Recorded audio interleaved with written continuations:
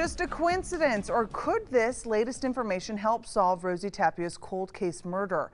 She was murdered in 1995, and over the past two weeks, ABC4 has uncovered two possible persons of interest, and now it's led to another development.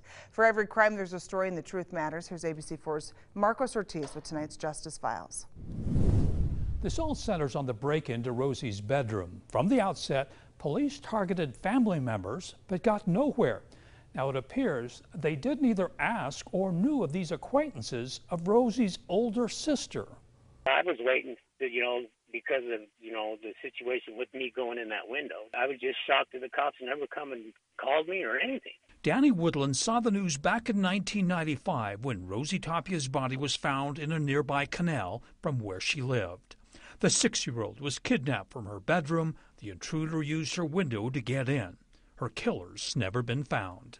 Been long enough. The cops have fouled this up from day one. The, the family needs closure.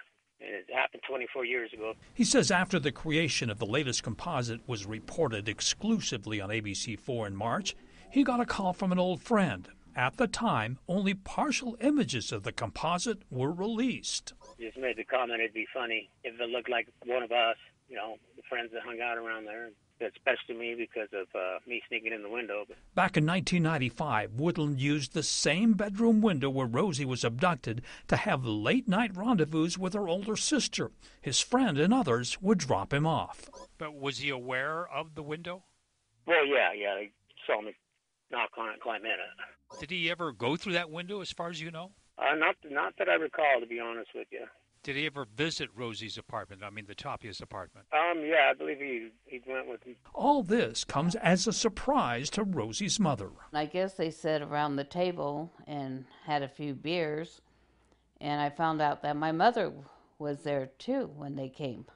And I never knew anything about this. When the composite was officially released in May, Woodland texted his friend. And I texted him and said, That looks like you, dude. What was his response? Uh, he called me back. No, that ain't me. Well, it looks like you. It looks more like you than it did me. A witness who also was never interviewed by police helped create the composite in March. And last week, in a photo lineup conducted by Tapia's private investigator, that same witness picked his friend out. The guy that done it, I mean, he's got 24 free years. I mean, uh, at least be a decent human being, die with some dignity, give the family some closure. Woodland says his friend denies having anything to do with Rosie's murder. He says police paid his friend a visit yesterday. Woodland told him DNA will give police their answer. By the way, Woodland says if police want his DNA as well, he's ready to offer it. When asked about all of this, Salt Lake City police had no comment, but they do investigate any lead that comes their way.